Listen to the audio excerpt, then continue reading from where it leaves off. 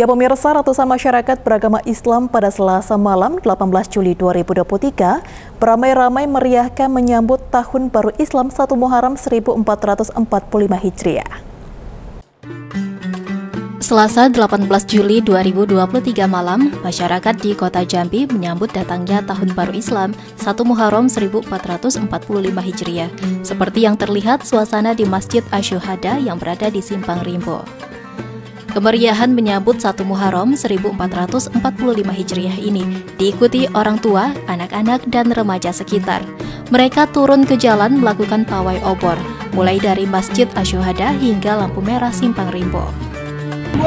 Tahun Baru umat Islam satu Muharram 1445 Hijriah ini mudah-mudahan ini menjadi motivasi kita semuanya.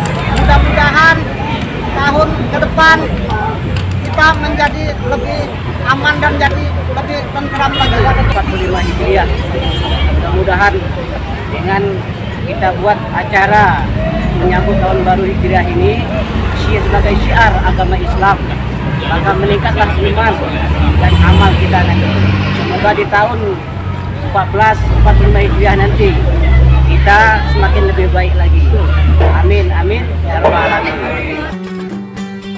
Dalam kegiatan tersebut, pihak keamanan mulai dari kepolisian, Babin Kamtipmas, dan Babinsa turut turun mengamankan kegiatan tersebut dan menjaga arus lalu lintas agar tetap kondusif.